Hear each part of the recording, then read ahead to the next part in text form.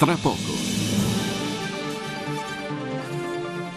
Sul canale 17 di Fano TV, l'informazione locale.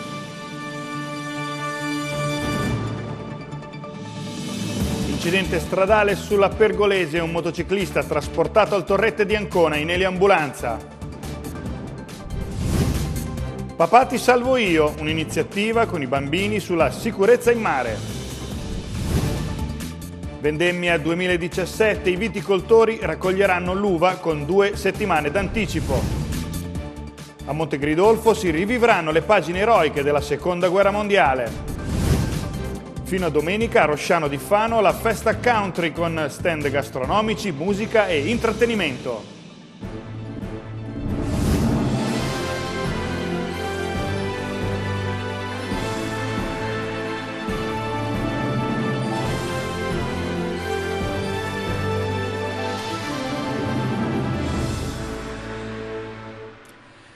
Buonasera cari telespettatori di Fano TV, benvenuti a Occhio alla Notizia. Iniziamo con la cronaca e andiamo sulla Pergolese per un grave incidente stradale avvenuto questa mattina.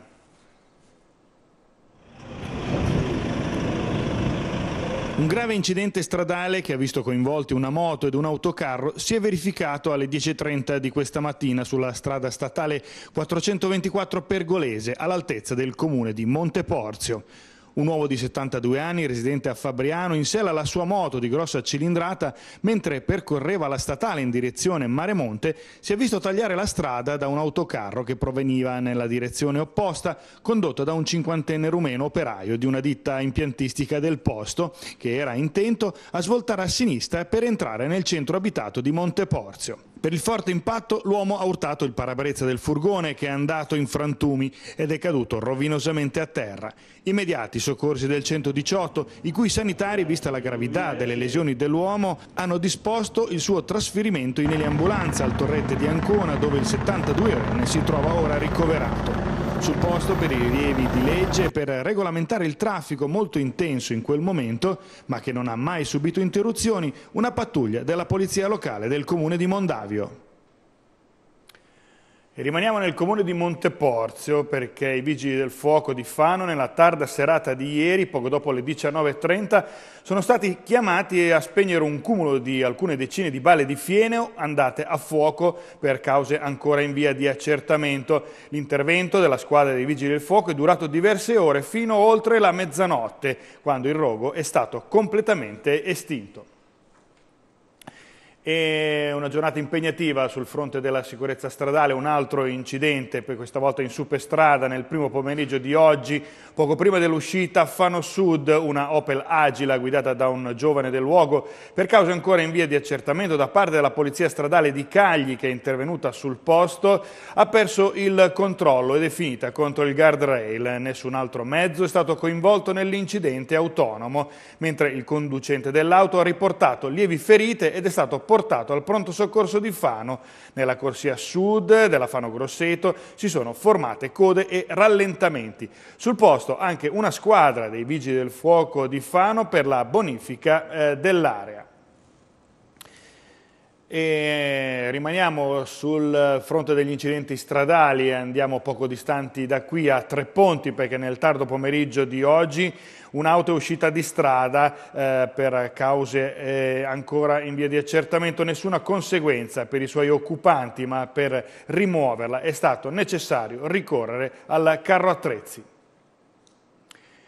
E si chiama Papà ti salvo io è un'iniziativa a livello nazionale per sensibilizzare eh, i giovani bagnanti, i bambini sulle operazioni di sicurezza e sui comportamenti giusti e corretti da tenere quando ci si trova in spiaggia. Vediamo di che cosa si tratta. L'iniziativa si chiama Papà ti salvo io, organizzata dalla Società Nazionale di Salvamento, mirata al coinvolgimento dei più piccoli sulle corrette condotte da tenere quando siamo a contatto con il mare e si è tenuta questa mattina sulla battigia dei Bagni Carlo a Sassonia di Fano.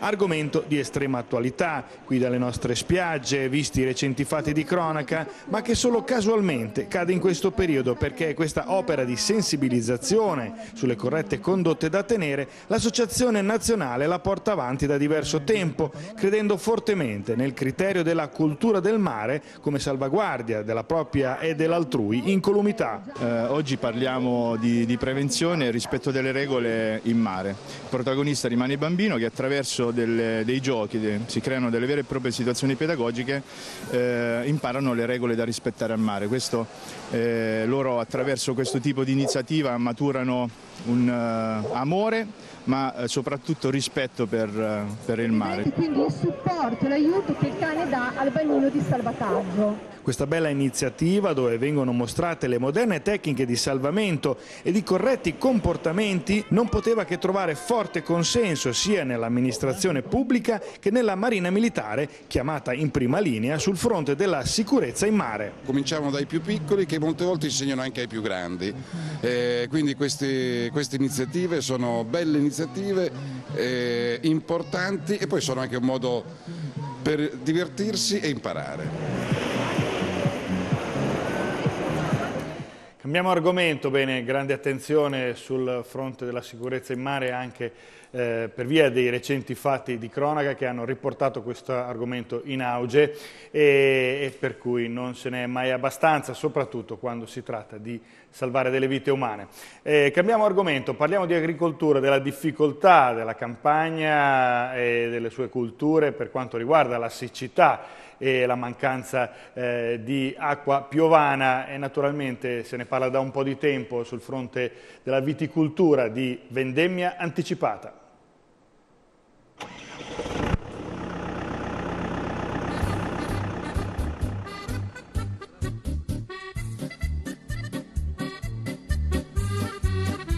Quest'anno si vendemmia sotto il solleone, dal Veneto alla Sicilia, passando per le Marche, Toscane e Umbria, le forbici dei vignaioli entrano in azione più di dieci giorni prima per le varietà precoci.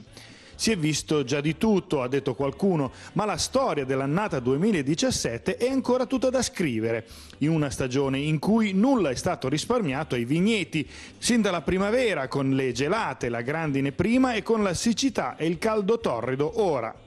Se la qualità dell'annata è dunque ancora da decidere, l'anticipo stagionale della vendemmia è ormai certo. Purtroppo, viste le condizioni e i cambiamenti climatici di questo 2017, siamo costretti a anticipare la vendemmia di 10-14 giorni, ma così in tutta Italia.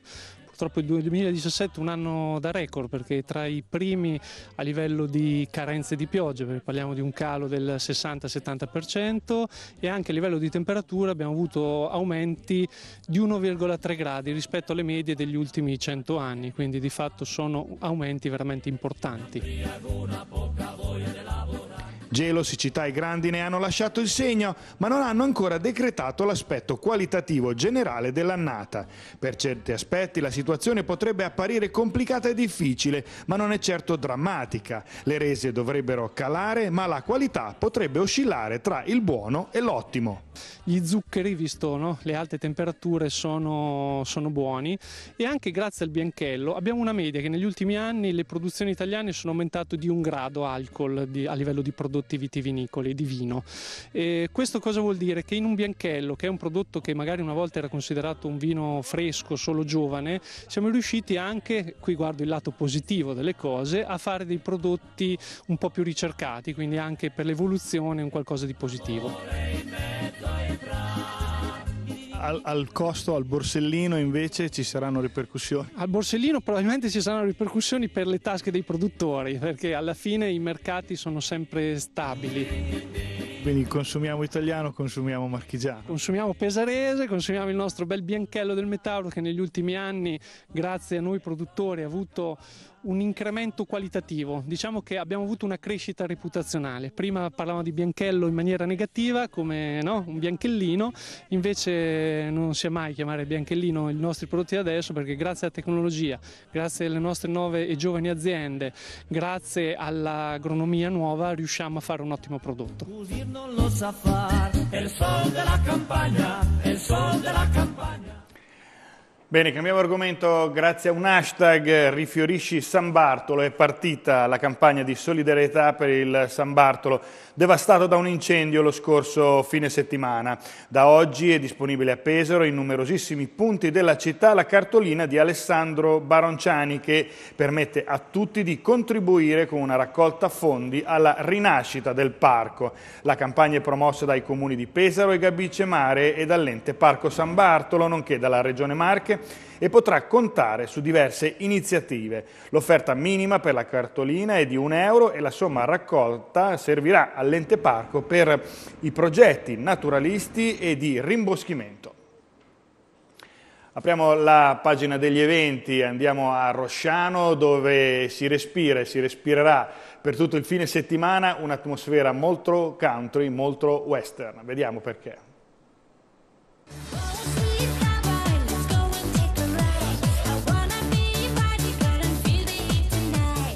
Mario Vanini, è partita ieri sera la festa country nel parco qui a Rosciano, ecco come è strutturato il programma per questa edizione? Allora, questa sera abbiamo la Zumba con Mattia Diamantini e sotto il telone a cena con Bicio, il nostro barzalettiere ci allieterà la serata mentre consumiamo una cena del favoloso Vecchio West. Domani venerdì abbiamo la giornata piena con il western.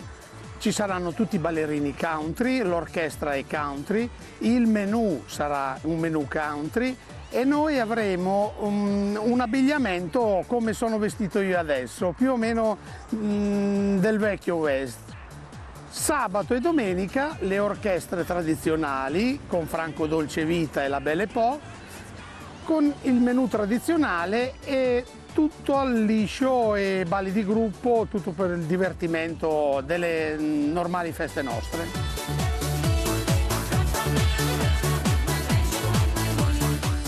E invece quali altri intrattenimenti avete proposto per l'occasione? Gli altri intrattenimenti sono i gonfiabili per i bambini, il trenino, le molle, il tiro a segno, la ruota, la grande pesca e infine abbiamo anche un bella gelateria che eh, nelle feste se ne vedono pochi di queste dimensioni.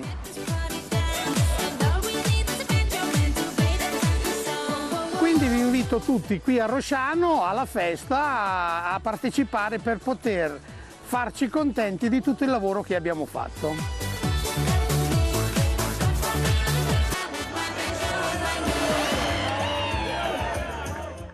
Eh, complimenti a Vagnini per il look molto calzante e di tutt'altro genere invece quello che andrà in scena a Monte Gridolfo, una rievocazione eh, storica importante per una pagina epica che si è vissuta durante la seconda guerra mondiale. Vediamo.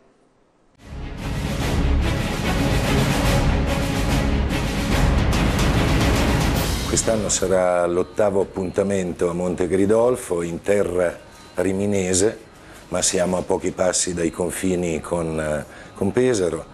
E siamo arrivati all'ottavo anno di rievocazione, chiaramente la manifestazione negli anni è cresciuta perché noi teniamo a curare i particolari e mano a mano che notizie storiche o particolari anche tecnici riaffiorano durante gli studi che si fanno poi anno per anno, eh, noi arricchiamo eh, l'evento con nuove cose. Siamo una cinquantina di figuranti che puntualmente vengono smentiti nel numero visto che eh, anche l'anno scorso ci siamo ritrovati in 80, poi chiaramente le collaborazioni con altri gruppi rievocativi del eh, nord Italia eh, sono nate, sono sbocciati nuovi amori, nuovi progetti e quindi saremo, saremo, in tanti, saremo in tanti. Rievochiamo una pagina della nostra storia importante più recente, eh, l'inizio dell'offensiva sulla linea gotica, eh, l'ultima linea di resistenza tedesca, eh, questa è stata l'ultima grande offensiva della campagna d'Italia,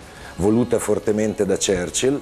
Faremo la battaglia vera e propria, quella di Norton, il sabato, che solitamente si svolgeva la domenica fino all'anno scorso, e eh, l'entrata trionfale eh, in paese delle truppe britanniche, preceduta da una piccola ma importante scaramuccia perché i tedeschi non volevano mollare neanche il castello, eh, la faremo la domenica, quindi sia il sabato dalle 17.30, però chiaramente per tutto il giorno, ma il clou è il pomeriggio, eh, sabato 12 e sia la domenica 13 agosto ci saranno due bei spettacoli farciti da luci, da suoni, da fumo, eh, eh, effetti di scena, sarà come rivivere la storia veramente perché noi non siamo figuranti, siamo rievocatori e in un certo senso attori, quindi ognuno eh, interpreterà la sua parte fino alla fine. Un film a Monte Gridolfo.